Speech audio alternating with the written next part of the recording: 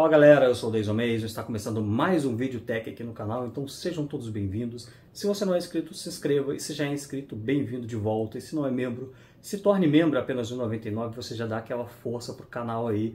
E não percam as promoções também, novidades aí que eu deixo na descrição com o nosso blog lá, que tem bastante coisa interessante. Bom, vamos para mais esse vídeo top aqui no canal. Na mesa aqui o Galaxy S23 Ultra, mas essa dica serve para todos os aparelhos aí que possuam telas OLED, né, para você evitar o efeito burn-in nos seus aparelhos, tá bom, galera? É uma dica bem legal aqui, tá? Vou mostrar aqui para vocês. Porém, galera, é, antes de começar o tutorial, reforçando aí, se inscreva no canal aí, galera. Olha só, 26 mil inscritos no canal que traz dicas que ninguém mais traz aí no YouTube, ou que ninguém, outros canais não se preocupam tanto também, né?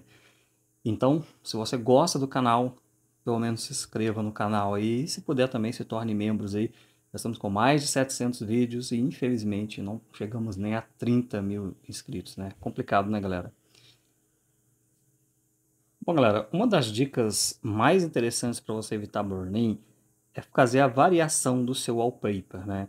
E eu vou mostrar aqui para vocês como faz isso. Você pode escolher alguns wallpapers aí, tá? É interessante você escolher alguns clicar aqui em configurar em mais, né?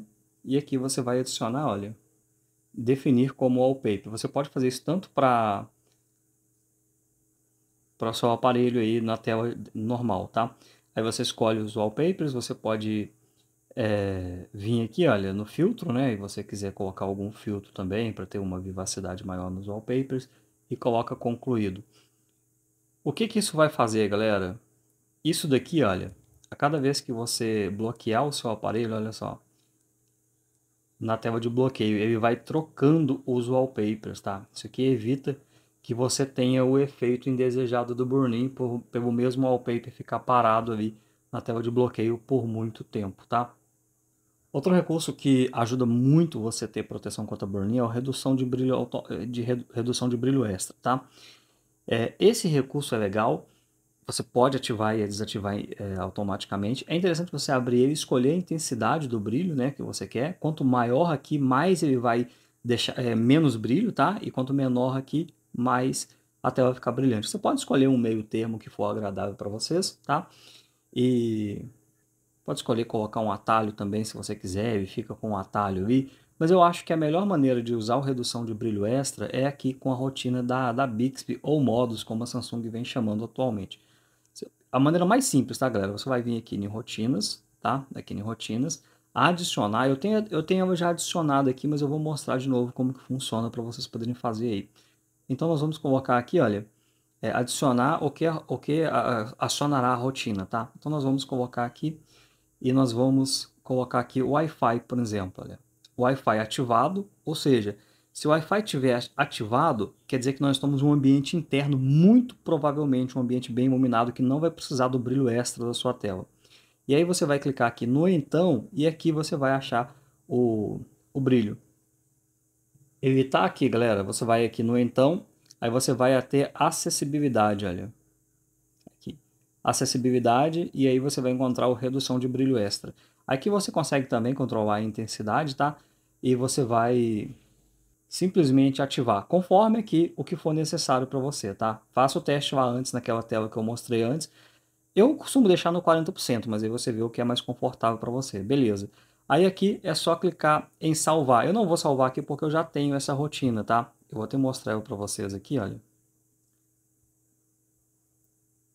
É, eu já tenho ela, olha. Vou mostrar aqui rotinas, que eu entro nela, detalhes aqui. É, ativado, redução de brilho. Então, toda vez que eu estou em casa, eu estou em algum local que tem Wi-Fi, quer dizer que eu estou em um local, um ambiente interno. E aí fica ativado, é redução de brilho, ou seja, cai 40% aqui, olha. E aí eu tenho uma tela mais agradável. Assim que eu saio do Wi-Fi, o aparelho já entende que eu estou nos dados móveis, eu estou fora do Wi-Fi, eu estou fora de casa. Aí ele já libera de novo o brilho alto, né? Eu vou só desativar aqui para vocês verem. Aí eu já tenho aquele pico de brilho muito mais alto, isso não me atrapalha em nada, e isso ajuda muito na proteção contra burn-in e também na proteção da própria qualidade da sua tela Super AMOLED, a OLED, Dynamic AMOLED, enfim, a longo prazo para não desbotar as cores, para não gastar viu, os pixels orgânicos, tá? Então isso aqui é uma dica muito boa para você evitar aí o burn-in precoce do aparelho. A configuração que é muito legal é isso aqui, olha, o teclado, por exemplo. Isso daqui pode ocasionar burn-in, tanto que normalmente nos prints de burn-in que nós vemos por aí, nos problemas do burn-in, sempre tem o teclado marcado na tela, porque isso aqui vai ficar estático na mesma posição e sempre quando você digitar, né?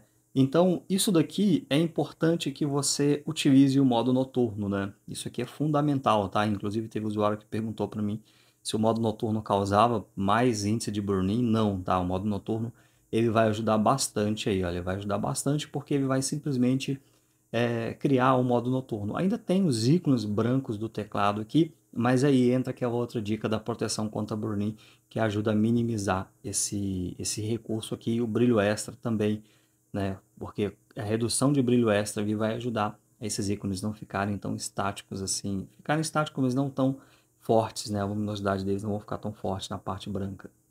Outra configuração totalmente recomendada para você desativar é a assistência do aparelho, tá? No assistência do aparelho, bateria, mais configurações de bateria. E aí você tem aqui exibir informações de carregamento, que vai exibir a informação quando você está carregando o seu aparelho. Isso aqui não é legal, tá, galera? Recomendo você desativar essa informação, mesmo com a proteção contra burn-in.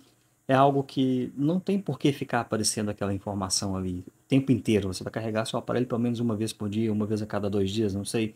Então, simplesmente desativa essa opção aqui, que isso aqui vai te ajudar bastante. Existe aqui, por exemplo, é, você poderia tirar, por exemplo, a porcentagem da bateria ali de cima. Fica a seu critério, tá? Eu não recomendo tirar, porque a proteção contra burn-in, desde que você tenha visto o vídeo aí no canal e ativou aquela proteção, esses ícones aqui, eles vão ficar sempre trocando, né?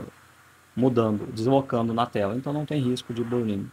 O problema complicado e que dá burn-in, né, outra configuração, recurso, é o Always On Display.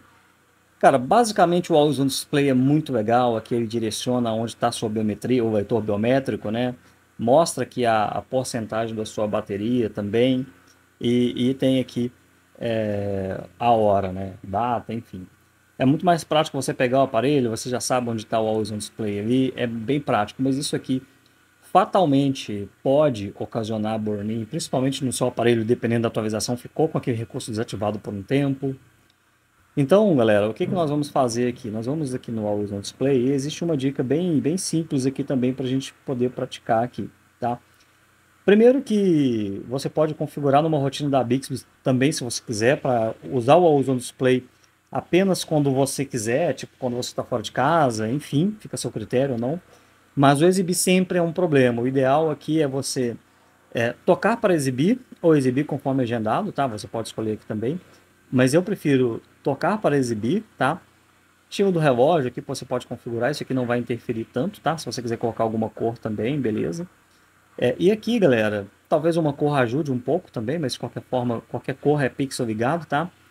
E aqui você pode vir aqui, olha, brilho automático. Ou seja, teoricamente o brilho automático seria legal, tá galera? Mas o problema do brilho automático é quando você estiver fora de casa, dependendo da situação, tiver muita luz aqui, ele simplesmente vai colocar o brilho muito alto. Então é legal você clicar aqui, tá? E desativar, tá? O brilho automático. E aí você escolhe, olha, qual que fica melhor para você. Talvez nesse, ó, primeiro nível segundo, terceiro nível seja o ideal. Vou mostrar aqui para vocês. O terceiro nível, vamos tocar aqui para exibir lá, fica mais interessante, olha. Tá. Tá? Então é interessante que você faça essa verificação, olha, ou, ou esse nível também aqui, olha, o segundo. O segundo fica bem esmaecido, né? Mas o terceiro eu acho que fica legal. O, o último aqui, ou automático, pode não ser tão interessante, tá? Então fica a seu critério essa dica aí, escolha uma dica com sabedoria. Galera, e basicamente, para você ter defesas contra burn-in, é isso aí que eu mostrei, e ativar essa função aí que eu mostrei em outro vídeo, né? Que é a defesa contra burn-in, que eu não vou mostrar aqui de novo, porque é um tutorial que você precisa entrar no sistema e ativar a defesa contra burn-in. Super recomendo você assistir lá o, o, o vídeo, né? O tutorial, se você não assistiu ainda. E se você fizer isso, Cara, como eu mostrei em outro vídeo aí, aparelhos com muitos anos e sem burn-in, né? Aparelhos aí com quase 8 anos de uso, como é, o J2, o S8 e vários outros aí, sem nenhum vestígio de burn-in, tá? Então dá para ter o aparelho com tela OLED sem problema nenhum com burn-in, desde que vocês apliquem algumas configurações bem simples, como mostrei, tá bom? Então deixa seu like, seu comentário e não se esqueça de se inscrever no canal. Valeu, galera! Bom, galera, gostaram demais desse vídeo? Mas deixou seu like aí? Se não deixou e gostou do vídeo, deixa seu like aí, não custa nada e ajuda aqui o canal. E se você não se inscreveu ainda neste canal, olha aqui, ó, se inscreve aí para você não perder nenhum vídeo. E também eu vou deixar duas indicações de vídeos aqui para vocês que vocês vão gostar bastante se vocês ainda não viram.